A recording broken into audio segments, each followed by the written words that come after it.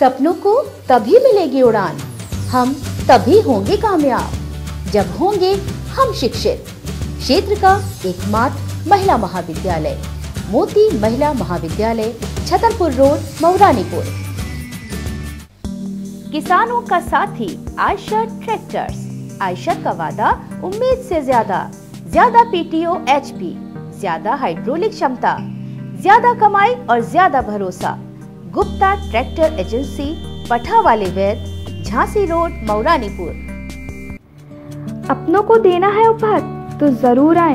बल्ले पहाड़िया gift centre हर प्रकार के गिफ्ट के लिए एकमात्र स्थान बल्ले पहाड़िया गिफ्ट सेंटर चौमुखी माता मंदिर के पास अलियाई मऊरानीपुर दतिया में पुजारी के घर फायरिंग करने वाले चार बदमाश आज दतिया पुलिस के हत्थे चढ़ गए जिनको पुलिस ने जेल भेजने की तैयारी कर ली है। दतिया एसपी डी कल्याण चक्रवर्ती ने खुलासा करते हुए पूरे मामले की जानकारी देते हुए बताया कि रामनगर कॉलोनी में रहने वाले पंडित अनिल चतुर्वेदी के घर 17 तारीख को कुछ बदमाशों ने उनके घर जाकर फायरिंग की थी और उनके घर की महिलाओं के साथ अभद्र भाषा का प्रयोग भी किया था, जिसमें कोतवाली पुलिस ने जाँच करते हुए चार लोगों को आज गिरफ़्तार कर लिया है। बताया जा रहा है कि ये शातिर शूटर है और उनके खिलाफ उत्तर प्रदेश के झांसी ज़िले के थाने सीपरी में 307 का प्रकरण भी दर्ज है। ये इनामी बदमाश हैं जो काफ़ी समय से पुलिस के लिए सिरदर्द बने हुए थे।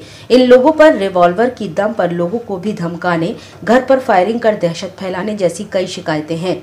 दतिया कोतवाली में प्रभारी टीआई बनकर आए विजय लोधी ने आरोपियों को पकड़कर कार्रवाई कर दी है। सत्रह तारीख की घटना थी। अनिल चतुर्वेदी करके एक हमारे पुजारी हैं उनके घर पे। तो ये ये था कि कुछ व्यक्ति आके वहाँ उनके घर के सामने से हवाई फायर करके उनको डराने का और घर के अंदर घुस के उनके महिलाओं के साथ कुछ अभद्र व्यवहार करने का। तो इस पर हम एक्टिवली देख रहे थे तो चेकिंग के दौरान हमने तीन लोगों को पकड़ा है, जिसमें एक वांटेड क्रिमिनल भी विवेक यादव करके एक और व्यक्ति जो यहाँ खड़ा था इसके साथ मिला था जो हम लुकआउट पे नहीं थे लेकिन अब पता चला है कि ये वांटेड क्रिमिनल है यूपी में। एक सीपरी बाज़ार थाना में 307 के इसमें ये 5000 का रिवॉर्ड ही है।